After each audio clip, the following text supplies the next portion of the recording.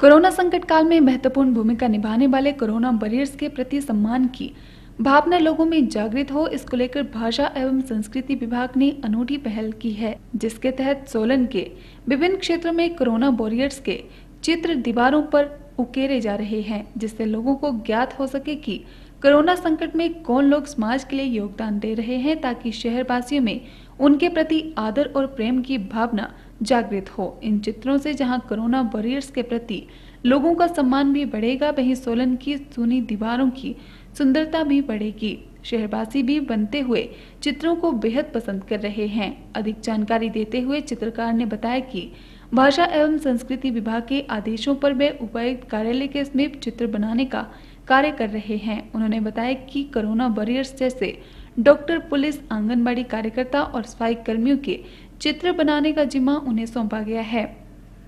अपने चित्रों के माध्यम से वे दर्शाना चाहते हैं कि कोरोना के संकट में इन सभी कोरोना वॉरियर्स ने क्या योगदान दिया और वे समाज के लिए कितना महत्वपूर्ण है, जिसके लिए हमें उन्हें सम्मान देना चाहिए। ये हम कोरोना वॉरियर के ऊपर पेंटिंग्स बना रहे और आज सुबह ही सात बजे हमने काम शुरू किया है।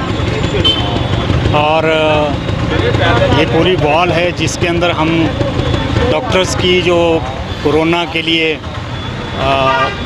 योगदान रहा है। उसके अलावा पुलिस का क्या योगदान रहा है? आंगनबाड़ी वर्कर्स का क्या योगदान रहा है? स्वीपर्स का क्या योगदान रहा है? जितने भी कोरोना के समय में डटे रहे, उन सभी वॉरियर्स का हम पेंटिंग के माध्यम से लोगों को एक संदेश पहुंचाना चाहते हैं। और ये काम जो है भाषा भाषा, कला एवं संस्कृति विभाग की ओर से किया जा रहा है।